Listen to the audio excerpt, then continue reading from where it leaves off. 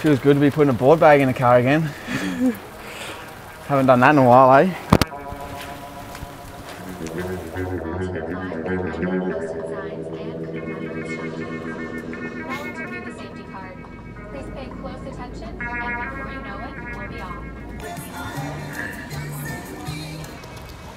One thing about being injured, you fucking get sick of crew asking what's wrong with you, eh? Like, well, if I could surf, I'd surf. Like, that's fucking plain and simple. and uh, yeah, where I'm at right now, I'm feeling pretty good. Um, you know, I'm going pretty hard in the surf, going back to doing some airs and that. Obviously, I'm sore, like muscle sore, like I haven't been doing all this shit for like 10 months now, so feeling good, feeling confident, and happy to be going big again, going hard.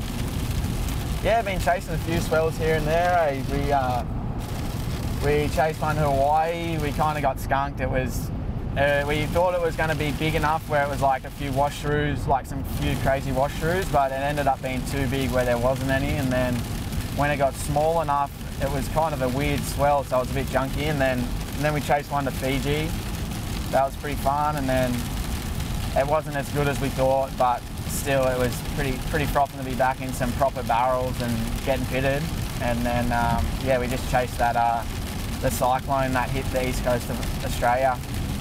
Again, we kind of it was all right. We had fun, but nothing to write home about, that's for sure. Now we've just been to Waco. Waco was pretty sick. Different. It feel, it's something different hitting a section over and over and over, but also too you got to time it, and if you time it wrong, you're either in the flats or you air off the back. So it's it's kind of as much as it, it's a perfect ramp, it's still not that perfect because even when you're racing to the section, you like got to adjust your feet when you can't even see the way the ramp. So it's it's kind of tricky, but it was fun. It, it served its purpose. I went there to try and do some airs and did some airs. uh, just some. I was doing a few. Uh, I don't know. I guess you could call it McTwist. Well, that's what they're called in snowboarding. Um, just with an indie grab, and then the front side one. I don't really know. It's just more of like an inverted, inverted air, like a bit more.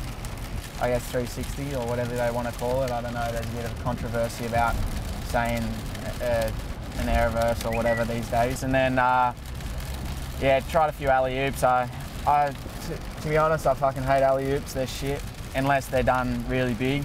And um, I want to start trying to do some big alley oops. So I've tried in past, but only went upside down because I don't really understand how you go really high and do an alley oop.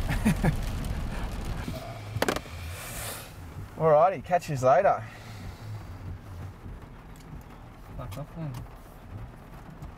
See yous.